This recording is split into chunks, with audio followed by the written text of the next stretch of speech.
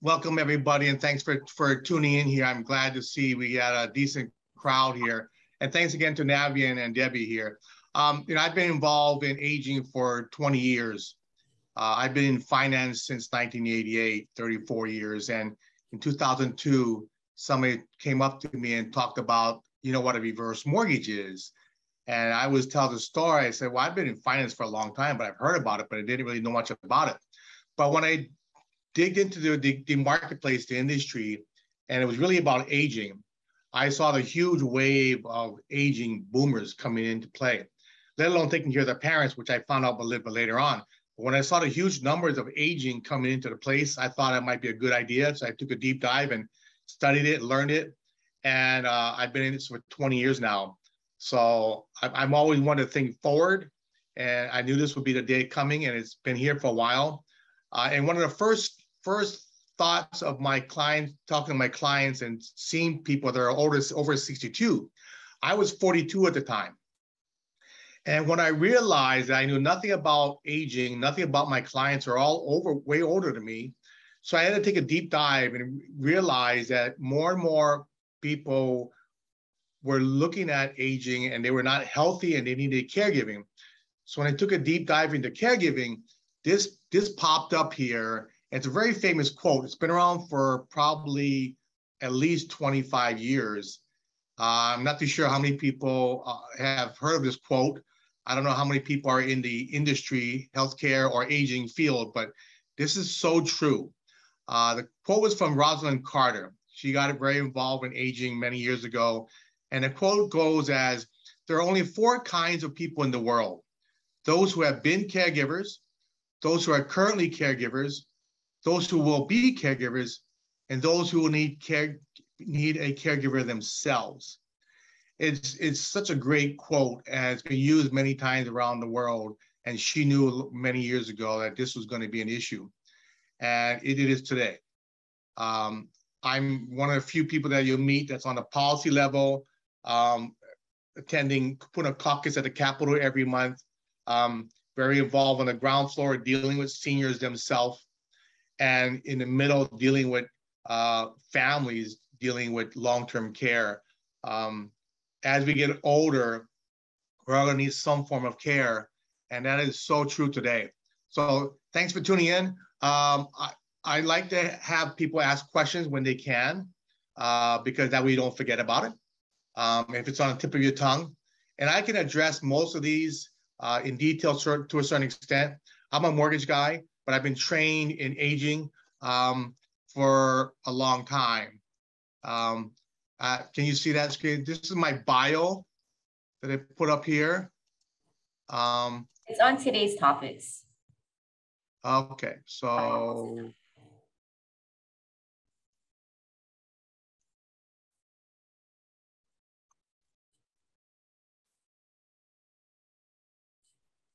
this is my bio. I always give people so you know who I am and what I've been through. Um, Generations Magazine actually was started in 2005 by Kini Popo. Kini Popo was actually the first person Hawaii saw on the TV. Uh, and unfortunately, he just passed away last week. Um, but he started a magazine because he helped take care of his father. And um, after five years, four years, he decided that he closed it down in August of 2009 when I made 50 and I was working with the magazine as, as a consultant, and when I turned 50 in January of 2010, I said, Kini, I'll help you bring it back. It's really important to the, to the marketplace, into Hawaii's communities and families. And he told me, no, um, I'm at a point right now, I'm going to retire and I want you to just take over the magazine. So he basically gave me the magazine and I converted it to a resource magazine. But what I realized, like I mentioned early on, is I didn't know much about being a senior and I we cannot solve problems if we don't know what the problem is. So I never think about. I mean, I had a 401k. Um, I didn't know much about retirement planning, Alzheimer's, fall prevention, elder abuse, caregiving. I heard of Alzheimer's. I knew it was a memory issue, but I didn't know much about it. I didn't know much about long-term care insurance. So I got some certifications. The biggest one is certified senior advisor. It's only double accredited uh, designation in the in the country in the financial services and the senior industry. And accreditation means basically somebody reviewed the test and the curriculum, a third party, because there are 40,000 designations in the US and only 10% are accredited. And only 1% are double accredited by the two major accreditation agencies. So I have that designation. It's a very rigorous um, test. It's a three-day course. You have to do CE, but if you're in the industry, I highly recommend you uh, take this course and get the designation. It basically covers 22 different areas of aging, and uh, you'd be more informed about the different things that go on in people's lives. The other designation I have is certified long-term care. Basically, I'm certified to counsel families and planning, and it's really, really important. And then we do workshops. In fact, hopefully Nav- Navia and Navian will come to that workshop October 4th at the Ala Moana Hotel. That's the big annual Aging in Place workshop. So um, hopefully uh, you guys will step out there and take a look at that. Okay. So basically, going to cover some basic topics. Um, why should families plan for long-term care? That's pretty easy, but you'd be surprised. I would guesstimate probably 70% of people do not plan for long-term care. And I'll go over that a little bit later on. Uh, can families do the caregiving themselves? Very commonplace. These are going to hit home like everybody's situation, whether your situation, your neighbor, your coworker, uh, your auntie, your friend from church, guy you golf with, it hits everybody. Whenever I'm at a function, without a doubt, somebody comes up to me asking about things about caregiving. And then what options for caregivers, caregivers, and then how can families pay for long-term care? And last one, really a solution of using professionals to plan for care.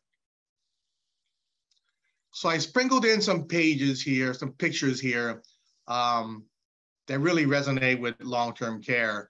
Um, you know, I'll tell, and I'll tell you a bunch of stories. I have a client of mine. Um, the husband called me up, said, "Hey, Percy, you know a lot about aging issues." I said, "Yeah, what, what can I do for you?" He goes, "I'm looking for a scooter."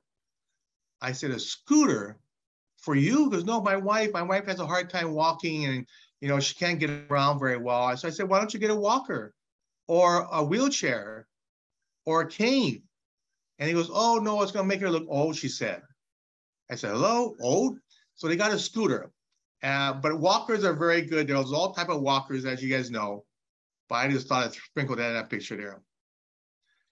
Why should families plan for long-term care?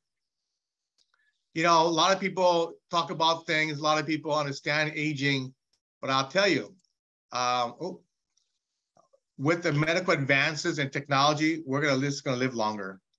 Um, we actually had a conference um, 2019 on regenerative medicine.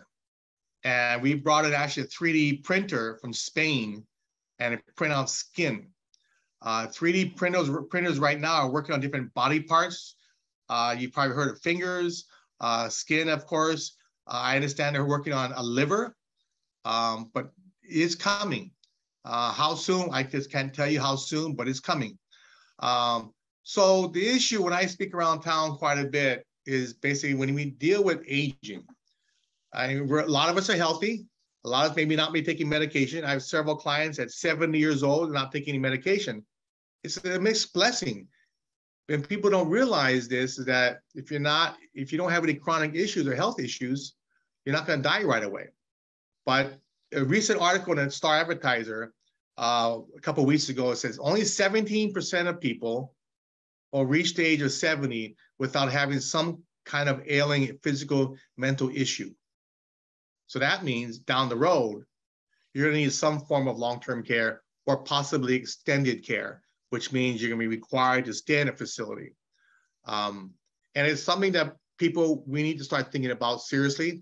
We need to start thinking about our own healthcare. Uh, obviously, a lot of people are taking different supplements, um, take uh, different exercise classes. And it's really important to realize that healthier we are, the longer we live, the healthier we are, we're gonna be able to stave off some form of long-term care. The downside is you're not going to die right away. So we won't may need a walker down the road or a cane. Um, we won't be able to, you know, go on top of the roof or pick mangoes from your tree. It is something that we just need to address, and we need to be able to um, face ourselves with um, the reality of aging. And actually, next uh, October 24th, the fourth Wednesday of every month at the One Hotel, we will be doing monthly small workshops on different realities of aging. So today we're talking about long-term care, uh, and it's something that even Social Security, including ARP, says seven out of 10 will experience some form of long-term care. And, and that's a reality. So think about it for your own self. And when I when I counsel families, which I do quite a bit, um, talk to your kids, talk to your neighbors, talk to your relatives about this issue, because if you, you're one of the seven, you're gonna need to find out and navigate how to navigate long-term care. What what does that look really look like?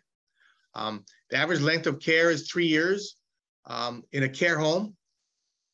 Um, and if dementia averages 10 years, which according to Alzheimer's Association, that's life expectancy with it, um, that's a long time to be caring for somebody. I have a relative that's had dementia now for 20 years. My own mother has just been diagnosed a couple years ago with dementia. And it's something that in the state of Hawaii, they say 50% of the people that have it are not even diagnosed. So if we have between 29 and 30, 35,000 people that have dementia, that means we have close to 70,000 people in Hawaii that uh, have, have dementia. Uh, according to ARP, it's like over 286,000 people that are caregivers. Not all for seniors, but a lot for children too. But that's a huge number to be dealing with long-term care. So it's something that I tell people start planning for, start doing your own research. Uh, it's really important because without planning, the family have to find themselves reacting when there's a crisis, when somebody has a stroke, somebody gets worse. Alzheimer's is, is debilitating and it only gets worse. Um, and something that leads to consequences that, that the family and the money wise have to come into play. You know, a lot of families have siblings on the mainland. How do you navigate that?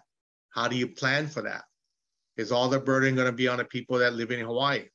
I have a very good friend of mine that he lives in, he's from Hilo and he lives in Oakland, San Francisco, Oakland.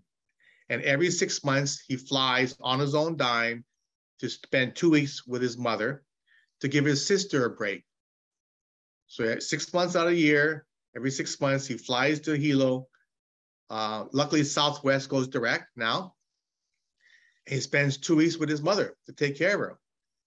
And I give him a lot of credit. Um, dealing with this from a work point of view, he has to take off work it is very stressful for him, um, let alone for the family. So his sister lives with the mom, takes care of mom. And, and, and you know, these stories are people you heard all the time, but she needs a break.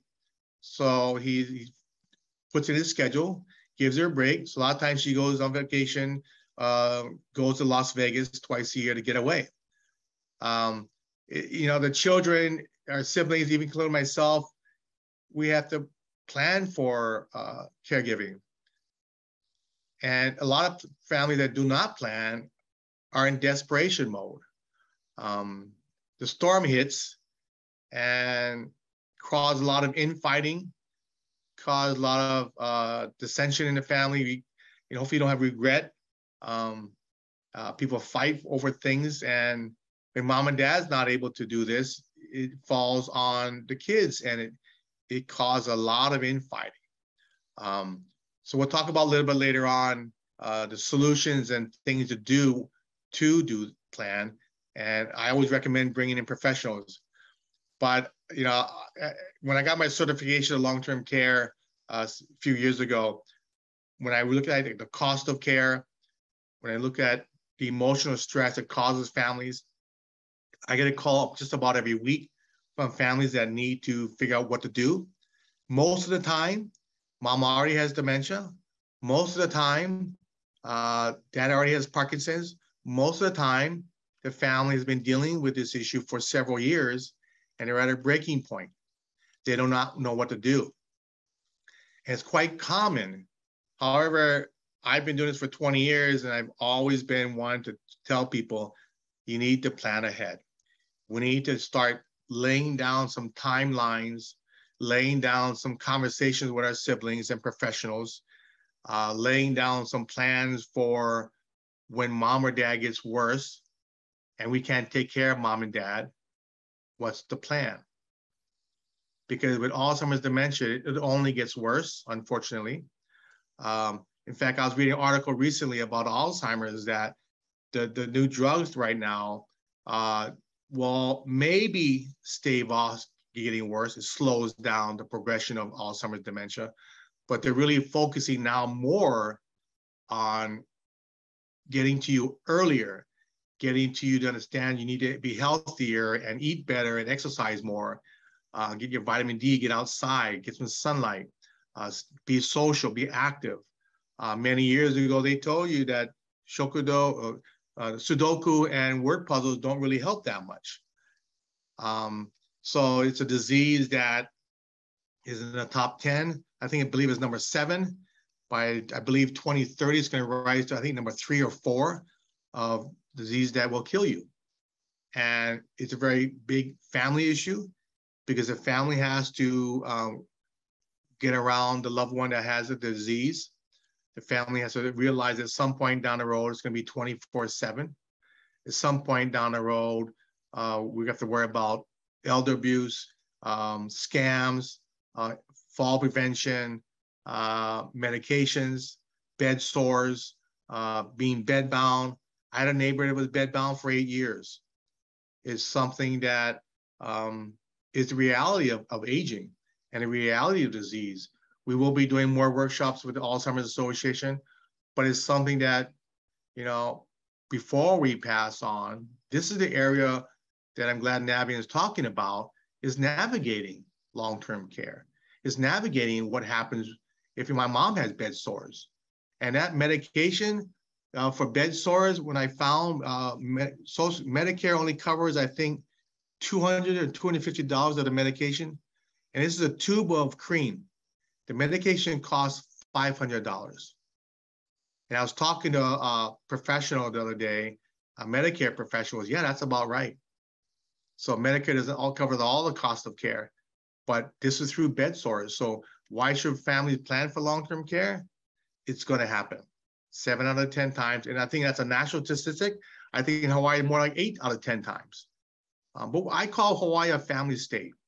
We kind of get around our family member, our loved one, whether it's my, our friends from golf or from school or from church.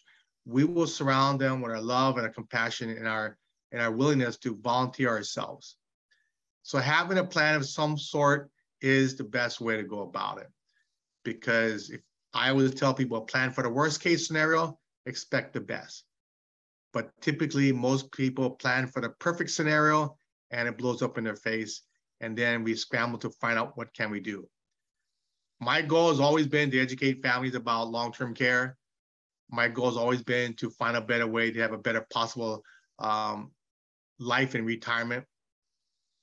And it is something to ask yourselves or ask your parents or your loved ones is this a golden years in your retirement? How are you doing?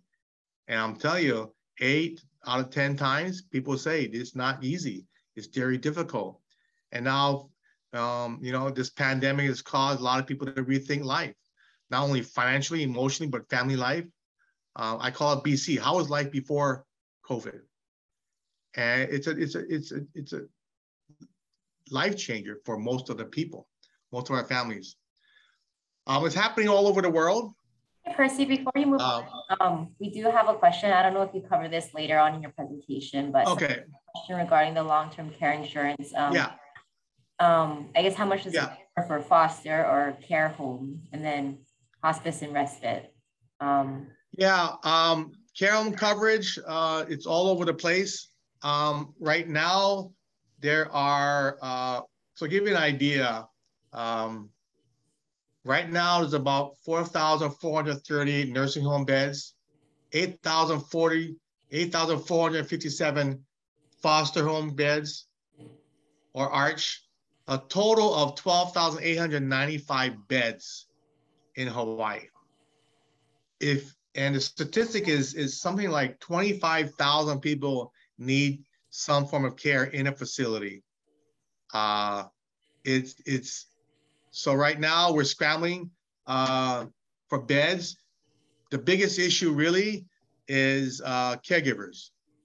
every facility, every property, even including adult daycare, home care companies. My own parents had had a home care three times a week, but once a week, one of the caregivers would call in sick. Um, foster care, um, you know, is, is all over the place. Now, I'm not sure if you're talking about Medicaid. We'll cover Medicaid a little bit later on. Uh, care home, it runs from 4,000 to 8,000, depending on, on the bed space. Depends on whether they're sharing a, a room or not. Um, whether they're uh, in a, in a um, uh, arch where it's a state-run program where they can have certain amount of beds for the household. Uh, that that's more specific, and that might maybe want to bring in somebody from the Medicaid office um, or long-term care uh, facility specialist that can do that. Long-term care insurance is something that um, uh, is all over the place. There were in 2000, I'll give you an idea, in 2004, 2004, there were 100 long-term care insurance companies. Fast forward to 2022, 12. 12 insurance companies. And it's unbelievable. We're finally realizing, like I said, when I got in business in 2002, we knew about aging and we, you know, it wasn't a big issue.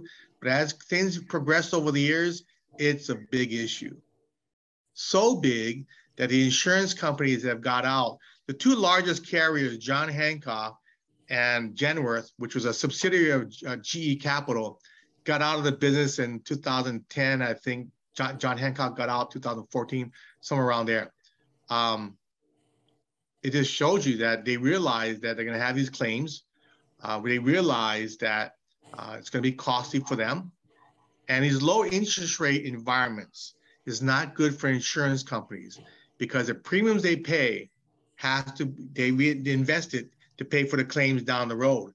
And you can't get much return in insurance companies today. So that, that's a big issue. Um, hospice is Medicare covered, and you know Navian has that. Um, respite coverage, um, there are a few places that cover that. Uh, that's a whole nother story when it comes to that because it depends on the facility. Um, and when you said processing claims, not too sure what that meant. Uh, to process an insurance claim is a task. Uh, my mother is on claim now. Um, they just moved into the Plaza Kaneohe uh, last month, July. Um, but her insurance is kicking in, paying for uh, a good bit of it, but not enough to cover the whole thing. And that's what people need to realize. Long-term care insurance was never created or be able to put forth to pay the whole cost of care. So the plaza in any kind of retirement assisted living place, the low level independent living runs between 4,500 and 5,500 for an individual. Um, for couples, I believe is six to 7,000, but you know, you want to check. I recommend everybody go visit a facility, take a tour and ask to try the food if you can. Um, and it's important to, to go see it, see the level of care, um, and see whether it's a buy-in or rental. This, that's another that's another uh, webinar we could do, uh, Debbie, because it's really important to stand that. Um, private pay could be anywhere from 5,000 to 10,000 to 12,000. Uh, in a facility, most of the places are 10 to 12,000 to 14,000. I believe Wilcox on Kauai is 14,000. I believe the Hilo uh, Life Care Center is 14,000, but just don't quote me on that, but that's about the range. Uh, my parents pay about 12,000 a month at the plaza. So it's, it's a big issue. Um, but it said if you have others, having provide, I'm a provider asking and have been receiving inquiries.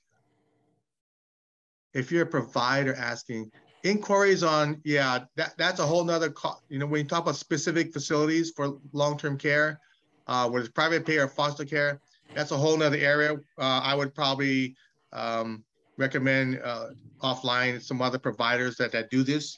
Um, we'll talk about, about Medicaid planning a little bit later on though. Okay, uh, let's go back to, okay. Why is my screen not moving now? Okay. Um, can families do the caregiving themselves? Most of the time it is. uh, I will tell you 90% of the time, um, people are doing the care themselves. They will um, work to death to take care of mom or dad. Be very careful if you're doing it at a younger age. I have two clients right now that are 60, 62 years old, and they have no social security because they they work to take care of mom and dad and aunties and uncles for the last 25 years. So they don't really have the 10 quarters of, of work to provide social security income. Hard to believe, hard to believe. Um, but that's the reality. So they had no social security. Uh, they don't want to go back to work. So living off welfare now. Uh, long-term care is a bear. Um, of all the people in the magazine, Generations Magazine, I'm the only one that does not have firsthand experience with long-term care. Um, I, you know, I take dinner to my parents, but not now because they're at the plaza. But it, it starts out as a part-time job. Yeah, no problem. I can handle this to the point where mom or dad needs more care, or one of your siblings passed away, or mom was taking care of dad passed away. Now who's left to take care of mom to dad? So be very careful when the plan is in place at some point down the road, you may have to take it on yourself or look at other options to pay for, to, to for the care, um, especially when you're working full time. The state did have a great plan two years ago, or is it three years ago now, that funded adult daycare for, for families that were working. So I would suggest getting involved with Kupuna Caucus that meets at the first Friday of every month to see what's going on. If you want to get on an email list, uh, you can email me uh, and I can forward you the, the, the, the links and things. But they provided funds to pay for adult daycare if you're working 40 hours a week and taking care of your mom or dad. So that was a great plan. I, I believe they're going to allocate more money, but I can't tell you right now if they did or not. It really becomes very difficult on yourself and your families. Uh, the children, I have several friends of mine, the kids are helping take care of mom and dad. Um, but there, and I recommend, I don't recommend that, by the way, because the kids need to go out, make their own money, start their careers, and not have to take care of grandma and grandpa uh, because they have to worry about their own employment, their own families. But we did a story in a Generations magazine on the sandwich generation, people dealing with their fam- taking care of their kids, raising their kids, and taking care of mom and dad. Um, it's it's a phenomenon in Hawaii because I call Hawaii a family state where we're dealing with so many issues. We, I think we lead, lead the country per capita in multi-generational families. Uh, we have Ohana housing here.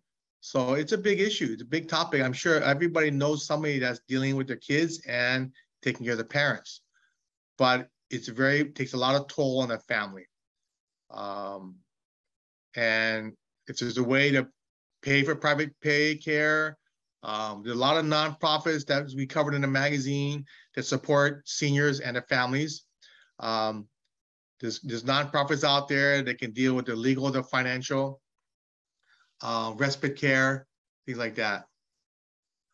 Uh, somebody put in there, I, I work adult daycare part-time, spend twice a week, four hours on adult daycare. Yeah, it's about uh, 600 a month. Uh, long-term care, in, care insurance Dove does cover this expense. So look at your policy because all policies are a little bit different. The newer policy does, the older policies may not. So um, I'll recommend you talk to your insurance agent and find out uh, if they qualify. So qualifying, we'll talk about a little bit later on.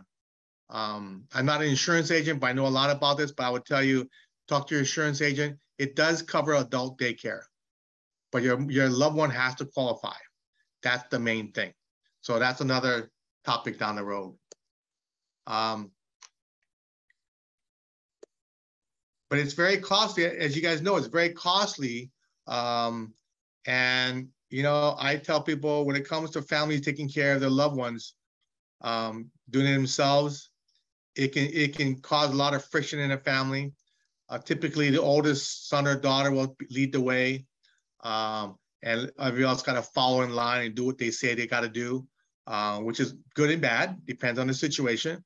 Um, we a lot of times we see the oldest sibling comes in from the mainland once a year, said, okay, we gotta do this, this, this. I'll take care of, I'll control of all the money, da da da. and it caused a lot of problems. Um, at the end of this workshop, I'll explain to you some ways to solve these issues because family infighting is big. Um, it, it, it's just, you know, family is the first line of defense for caregiving. It's the family. And we all want to take care of our loved one, but, you know, not everybody feels that way in a family. You know, um, people move to the mainland, they don't come back so often. Uh, everybody has a different idea of what quality of care quality of care is, um, and what they're willing to do. And I tell people, a caregiver is not equal. You know, what you think is fair is not equal. Um, it sometimes it does work, most time it does not. So understand that, uh, take it to heart. Uh, I recommend always to take in workshops like these. Um, we do a radio show every weekend, 8 to 9 a.m., uh, that we talk about different topics on aging. Uh, we've talked about hospice, and um, it's just something that th this is a part of life that's really important to all of us. And how do we navigate that? That's the biggest thing we want to come away with. How do we navigate this? How do we plan? Uh, what are the options? Basically, I tell people, you know, if the family can take care of mom and dad, great, but it's going to affect your life. I, I had a, a, relative of mine taking care of their mother for, I think, 10 or 15 years I said, you know, down the road, it's going to get harder. It's going to ruin your life. And that person said it already has. It's Very sad. This person went through divorce. Um, the wife just couldn't take it anymore. They're all living together. Uh, and he said, I'm out of here. It caused a lot of infighting. Um, it takes a lot of understanding of the disease they have, possibly, or the kind of care. Uh, it gets very emotional. Uh, hopefully, it doesn't get too financial because that'll break it apart. Um, dealing with the cost of care is huge. Um, but I tell people look at adult daycare uh, for 70 to $75 a day from 8 to 5 o'clock, two meals, sometimes three a day. They have social contact. They're in a relatively secure, safe spot, um, whether it's in a facility or a church. It, it's really, really important to look at that. Now, I've had three cases recently. They say, oh, my mom will never go there. Or my mom only speaks Chinese or Japanese. I said, I get it. But the reality is, are you going to knock yourself out or retire from work to take care of mom during the daytime? No. Hopefully you can if you're able to, but a lot of times it doesn't. So these are situations you have to understand that you have to walk them through the scenario. Slowly plant seeds over time. And everybody's family is different. Everybody's loved one is different. How to make the decision making process. But you know, we had a good friend of mine that I told, said, you know what, if you can't do this, adult day center or bringing in a caregiver into the house is going to be the only solutions. Well, she won't put up with a with a caregiver. So I said, check out the adult day center. Let her sit around. Tell me to talk to the lady, and let her look around. She'll find people her own age. Maybe their own health health status is the same. Um, you may know somebody there, and uh, slowly walk them into that path of, hey, this is not too bad here. And you'll be around people your age versus sitting home watching TV all day long. So this person did it. And after I believe it was two or three months, they'll wake up four o'clock in the morning. Okay, I'm ready to go to the, the daycare, daycare place. Um, and it worked. Uh, there are a few uh, adult day centers that have Japanese speaking only. Um, I have not found one that speaks Chinese, which is a bit harder but we're looking for caregivers that speak Chinese. Um, uh, obviously, your CNA, Certified Nurses Aide, is, is a is a uh, option for you. Um, but a lot of times, it's the relationship. Uh, I had a client of mine that did the adult daycare and had had a um, my, this lady was Japanese, and they had a Polynesian lady come in, great caregiver, but she just didn't like her. She wanted an Asian. Um, she was old school and wanted an Asian um, caregiver. So we switched it out. It was fine. Um, but I'm telling you, Filipinos, the Polynesians, Tongan Samoans are great caregivers out there. Um, I think that's the future. If we can work, find a way to um, work some kind of work work visa for those countries to bring in caregivers. That's the biggest problem right now, as you guys know. Um, it's just something that is not going to get any better. Um, I thought the two of the politicians running for governor that this is this is the way to go. Um, the young kids today don't want to do this kind of work, and it's difficult. And you're getting minimum wage. Uh, it's not glamorous. It's not sexy. It's not fun. It's just boring, actually. So this is something in the area of caregivers. The lack of caregivers is a huge problem. This is a problem worldwide, by the way. Um, assisted living is is a, if you can afford it. Uh, like I said, these facilities will run you 4,500 to 5,500, depending on the setting, depending on the size of the room. Most of them are studios. Um, there are one bedrooms, uh, two bedrooms, depending on the facility. Um, but it, it, it, real estate in Hawaii is very expensive. So as you can kind of figure out, you know, one bedroom probably costs you like more than six thousand dollars a month. But they're pretty all inclusive. They clean your room once a week, I believe, or or the, wash your clothes. Um, a lot of facilities has a hairdresser on site or comes into the site, physical therapist, um, you buy or rent every month. Um, if you're going to long term, or you possibly you have other family members may need a unit, may you need a unit. Uh, I would um, uh, Kalakaua, one Kalakaua has rentals that you can buy. Uh, Arcadia 15 Craigside, Kahala Nui, you buy it, but you care for life, which is a great thing. I've looked at that myself. Um, assisted living uh, is great. It's a great lifestyle. You don't need to care right now but you it will come and go. They have bus service because that's one thing I look forward to because I'm driving is a pet peeve of mine. I don't like to drive, uh, but bus service, uh, they go every day to someplace, even take you to the doctor. Uh, it, it's a great lifestyle. I would tell everybody take a deep dive and look into what the services are. Um, my own mother-in-law uh, moved into one Kalakaua and ran met a, a cousin she hasn't seen in 40 years. She met a classmate she hasn't seen in over 60 years. Amazing. Um, she never liked the pool. She started going to pool. She never exercised. She started exercising. So these communities are wonderful. I highly recommend everybody take a look at this if they can afford it. Um, and you know, when I say afford it, that's a big question because I tell people it comes down to quality of life. What can you afford to improve your quality of life? or retain or have a better quality of life than the past. So can't take the money with you. If you're worried about the kids or your heirs, that might be an issue. But having a quality of life this late stage is really, really important. Uh, I can't stress it enough. Um, the DIY, do it yourself, and hopefully help from other family members, neighbors, friends. I, I knew several people that had a whole team, and it's wonderful. A lot of churches today have um, volunteers from the church that help take you to take you dinners, uh, take you to the mall, uh, take you to the doctor. So reach out to your church or join a church. As you folks all know, um, Project Dana is a faith-based organization. That's how they started through the churches. And they're they are uh, mostly in Oahu, but I believe they have Hilo and Kauai. Uh, so I would highly recommend check that out. Um, they even have a, a service where they'll call you once a week or write you a letter once a week or visit you once a week.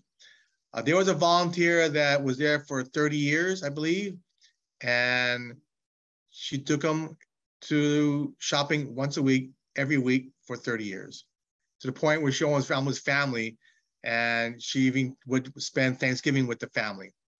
And this volunteer spent all these years um, looking over this person. So it's a huge it's a huge endeavor but it's part of life that we have to understand in fact i read the paper every morning before when i drink my coffee and this morning's newspaper if you can find that pope francis was talking about you know he's retired and he talked about as he ages he needs he needs that must people understand we have to put an importance on taking care of our elders and that's really really important it's really important to um, care for our loved ones, make sure they're happy, make sure they have good quality of life.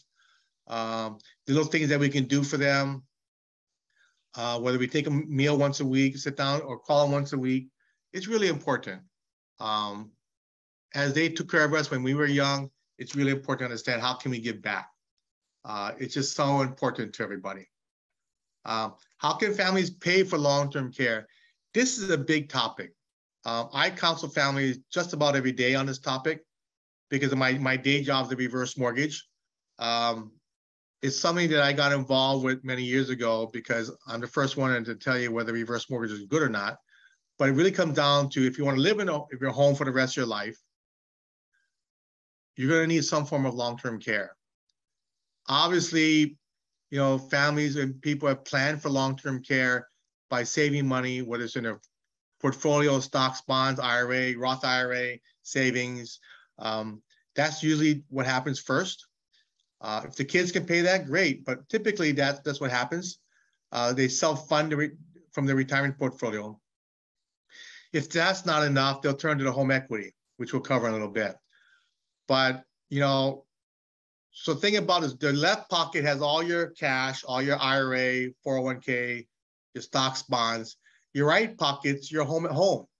And over time, hopefully you pay down your mortgage to when you retire, you have no mortgage payment but you have all the equity sitting there uh, that you can utilize, and that's that's the thing. People are now realizing they're trying to they're trying to turn that into cash, and that cash is either by selling the home, renting the home, or borrowing against it.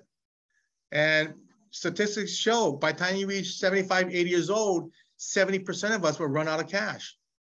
As you guys know today, very few people have any kind of a pension. And it's really important to understand if, if we don't have a pension or an annuity, which is works like a pension, we're gonna live on Social Security only. A huge number of people in Hawaii live on Social Security only. Um, so that's a really big thing. Um, and if you want to pass on anything to your family, that's another story.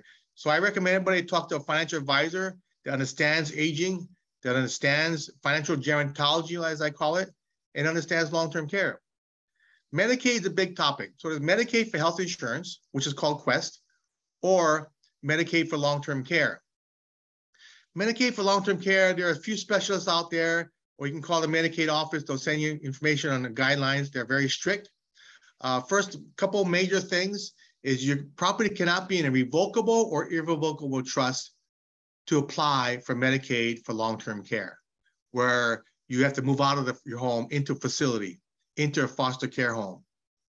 Yeah. And that's where the state pays for your care. Um, it, it's really important to understand that because back in the day, several attorneys were telling you put it in an irrevocable trust and you'll qualify for Medicaid. Well, that doesn't work anymore.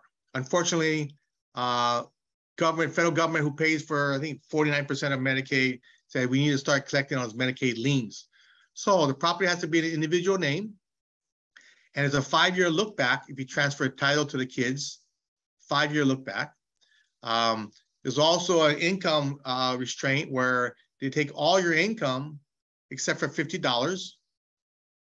And for individuals, you can only have $2,000 in a bank, or for a couple, it's over $100,000. So uh, I would recommend you talk, call the Medicaid office, or there's a few Medicaid Medicaid uh, specialists in town that can help you with that application process. Um, and so you'll be, if you go on Medicaid, uh, you're gonna be sharing a room or a house with other people that you don't know. Um, Medicaid reimbursement is less than private pay. So obviously whoever, whoever pays for care controls the care, uh, but you don't have an option. You go where there's a Medicaid bed. Right now, uh, I believe we're 90, 95% full for Medicaid beds. And um, we're going to run out of beds in, in the near future. Uh, we don't have enough Medicaid beds coming on, on online. Um, as our Filipino care homes, um, people pass on or retire, hopefully their children will take it over, but that's also limited. Um, but a really big issue is we, we don't even have enough, caregivers to work in these facilities in, in foster homes and, and in Medicaid homes. So it's really critical to understand that how we're going to take care of that and plan for that. I highly recommend if you're my age, 62, hopefully I don't need medic, any kind of care for another 20 plus years, but sooner, we need to understand how, how we can do that. So that's really, really important. Majority of people still to get care in the home. And Medicaid does not pay for care in the home, by the way. They used to have a uh, program called Nurses Without Walls, where they would come in a few times a week, but they don't have that program anymore. I wish they did. I wish they had a service like that. And that's one of the, if you want to talk to a politician, I wish they had that. Um, Medicaid with uh, Nursing Without Walls, where they come into the home several times a week. Um, so, uh, like I said, he controls, pays for the care, controls the care. So in other words, you do not have a choice. Whatever bed's available, that's where you go. Using home equity is a growing um, solution to long-term care as we live longer. The banks and credit unions have have have uh, uh, homes homes equity lines of credit. However, if you're retired, uh, it may be more difficult to uh, qualify for a line of credit. Um, so it's something to think about. I got in this business doing the FHA HECM, home equity conversion mortgage. It's a home equity line of credit, works just very similar to a, a bank credit union line of credit. The difference is you're not required to pay that mortgage payment every month. A lot of people don't realize you still can if you want to. Um, and the property still stays in the name or your, your trust. Um, and we don't take the property when you pass away. And uh, qualifying is much easier. And, you know, I tell people, if you could stay in a home for the rest of your life, how would that quality of life be without having to make a mortgage payment? So that's a long conversation I have uh, with, with clients of mine, or potential clients of mine. I work with a lot of financial advisors, insurance agents, attorneys, and it's something that uh, we have to take it to heart. We have to start thinking about this down the road uh, because, as you guys may know, long-term care is very costly. Uh, it's just something that um, the only other great, better way to, to, to solve this issue is get long-term care insurance. So I'll give you an example. I've been doing this 20 years. And I will tell you, I 80% of the financial advisors I work with uh, don't thoroughly understand long-term care insurance. I hate to tell you this. A lot of them have not done more than 10 or 20 policies themselves. Um, so work with an advisor that understands and does this on a regular basis. Long-term care insurance, I bought it at, at 59 three years ago.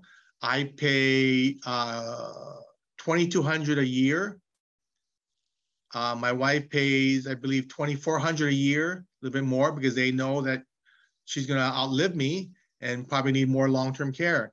Um, it so the bucket that they that you're buying into is up to you and your financial advisor. How you to look at that?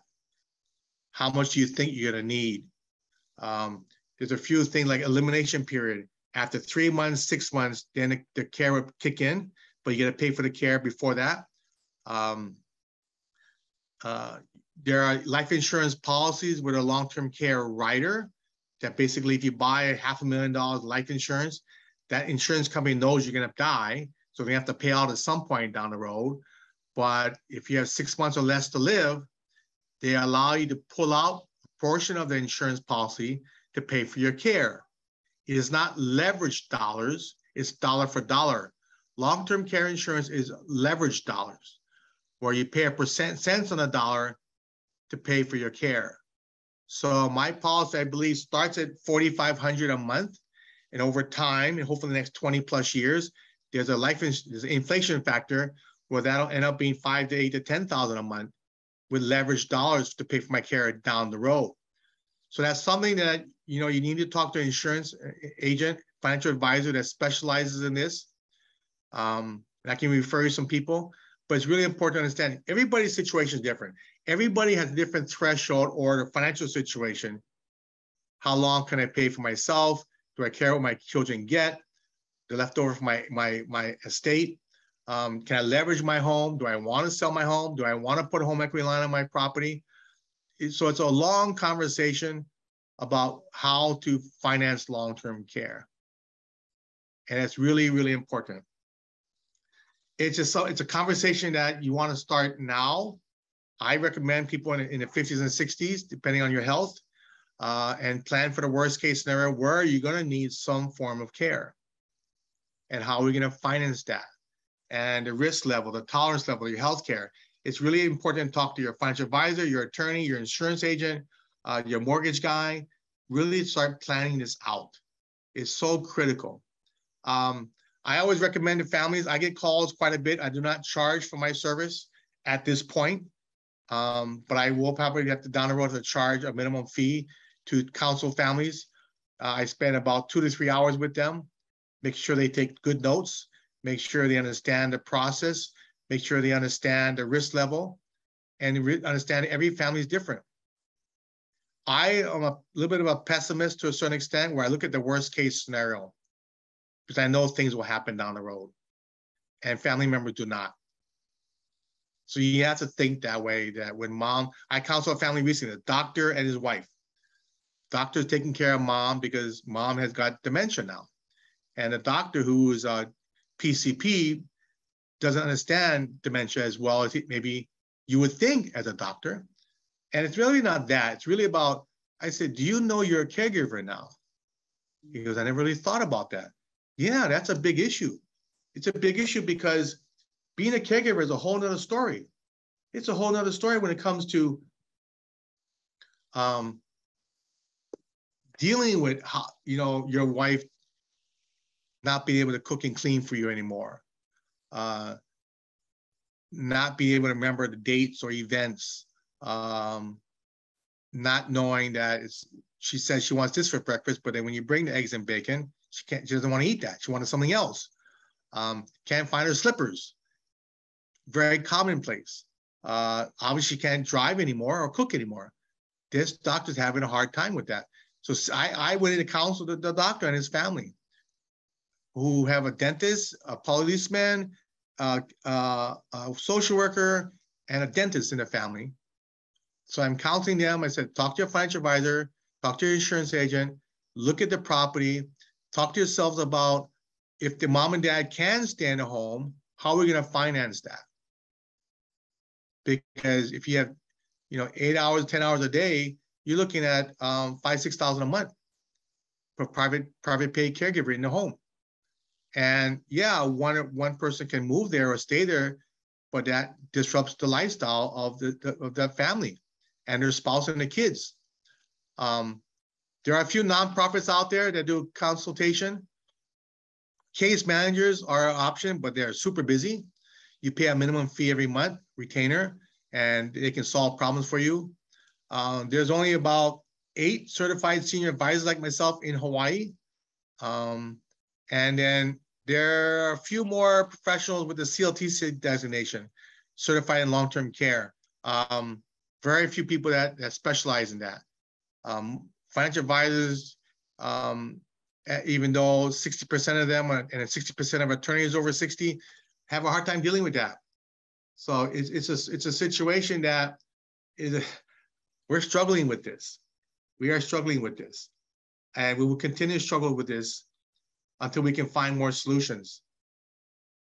But I would tell everybody seek out a professional, seek out somebody that has experience um, and understand, you know, everybody has a different idea of long-term care.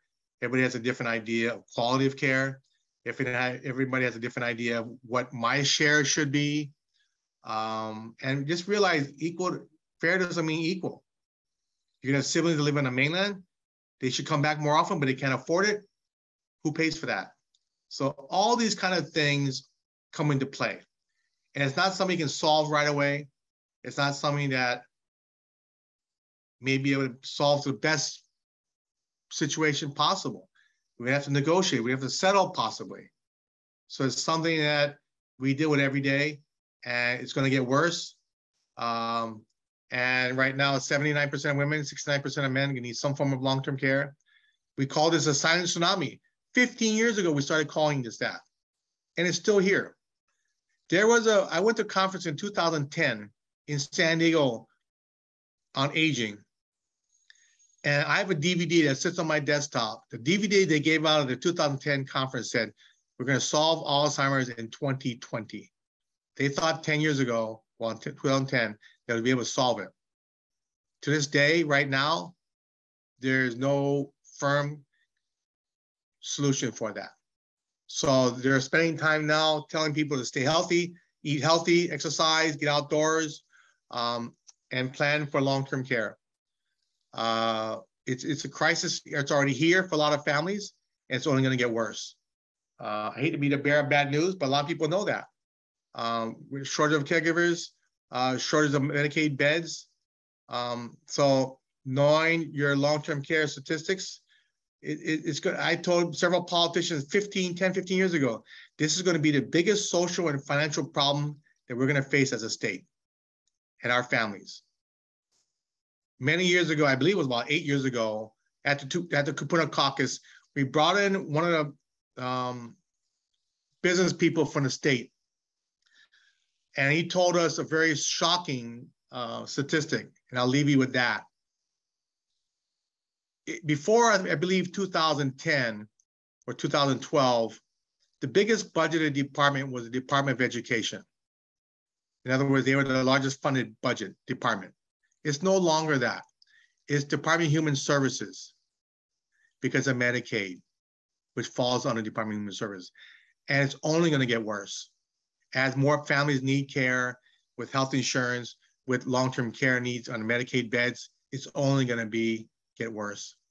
So um, have a plan, talk to professionals, um, and seek out professional help. So if there's any other questions, um, we can drill down to more specifics offline or email me. Um, you can always email me. That's my parents, by the way. They're both in scooters. And they go to Vegas just about every month. And here's my contact information.